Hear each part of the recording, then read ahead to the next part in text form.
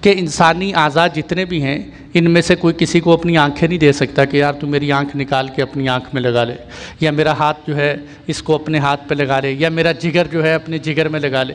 تو اسی طرح خون بھی اصلاً جائز نہیں ہونا چاہیے کہ کوئی بندہ کسی کو اپنا خون دے دے۔ لیکن خون کی ضرورت اب اتنی زیادہ پیش آتی ہے کہ انسان کو اگر خون نہ دیا جائے تو پتہ نہیں کتنی موتیں واقع ہو جائیں۔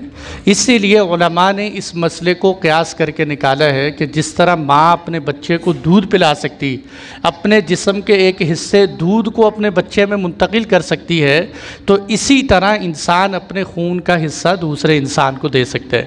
لیکن یہ یاد رکھنا کہ یہ اس وقت ہے جب ڈاکٹر حضرات یہ کہیں کہ اس کو خون کی ضرورت ضرورت ہے، اس کا علاج دوائی میڈیسن سے نہیں ہو سکتا۔ اگر کسی کا علاج میڈیسن سے ہو سکتا ہے، وہ بلا وجہ اپنا خون دوسروں سے لیتا ہے، تو اس کے برے اثرات ہوتے ہیں۔ بعض دفعہ ایسا بھی ہوتا ہے۔ ڈاکٹر حضرات بھی خود کہتے ہیں کہ ہماری کوشش ہوتی ہے کہ ہم لوگوں کو دوسروں کا بلڈ نہ لگوائیں، کہ اس کے مستقبل میں بڑے برے اثرات پڑتے ہیں۔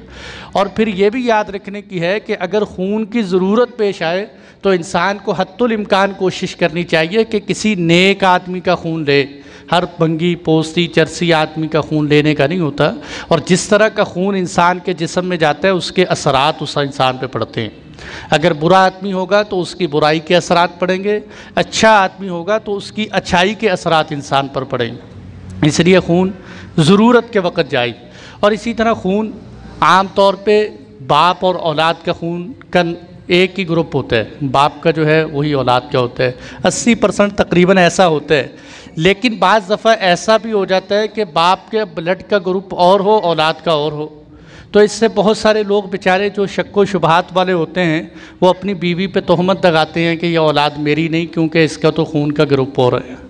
کیونکہ اس کے خون کی قسم اور ہے، تو اس میں شک و شبہات میں پڑھنا نہیں چاہیے۔ یہ کوئی شرعی دلیل نہیں ہے۔ اللہ کی ذات جس کا جو چاہیں خون بنا دے۔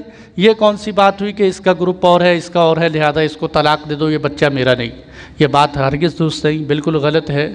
اور اس طرح کے شک و شبہات میں انسان کو نہیں پڑھنا چاہیے۔